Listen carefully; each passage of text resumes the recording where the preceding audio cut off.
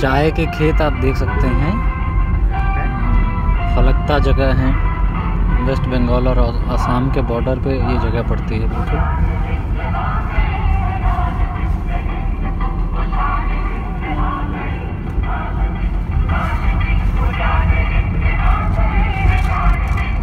यहाँ पे पूरा चाय का खेती अब शुरू हो जाएगी, चाय आम के पेड़ हैं, केला बहुत है, खजूर देख सकते हैं। नारियल है ताड़ी का पेड़ है। प्रकार से वनस्पतियों की भरमार है।